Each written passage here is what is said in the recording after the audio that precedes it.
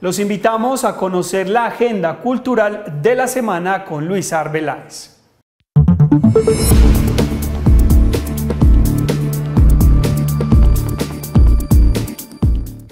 Les doy la bienvenida a la agenda cultural de Sonsón TV Noticias, hoy trayéndoles novedades de la convocatoria de estímulos al talento sonsoneño, nuestro nuevo ciclo de cine, que además es un poco más familiar, y la oferta que tiene la Universidad de Antioquia en términos culturales y artísticos para la semana entrante. Bienvenidos.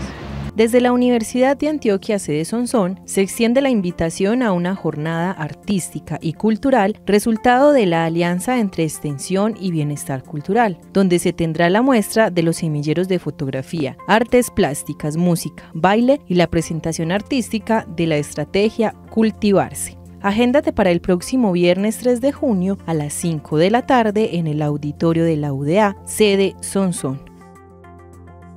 ¿Sabes lo que es turismo comunitario? Esta iniciativa corresponde al trabajo colaborativo de una comunidad, donde nace una alternativa económica que beneficia a todos sus miembros. Una participación voluntaria que además busca, entre otras cosas, un manejo adecuado de los recursos naturales y respeto por la cultura local.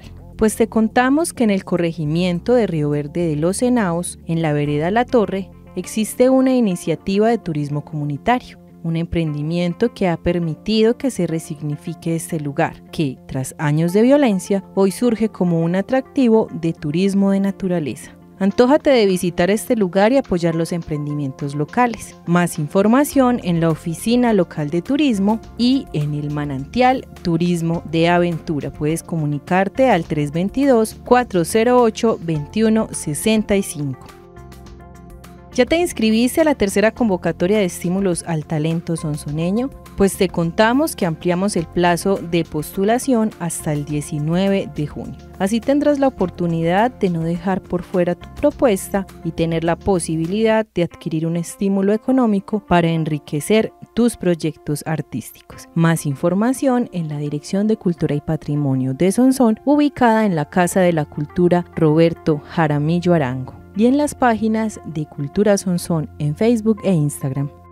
Hasta aquí la agenda cultural de Sonsón TV Noticias. Recuerden cada ocho días conectarse con toda la oferta que tenemos para ti, para que aproveches el tiempo libre, eh, disfrutes del arte y la cultura. Nos vemos en ocho días, pero no se despeguen de más noticias. Volvemos después de estos comerciales.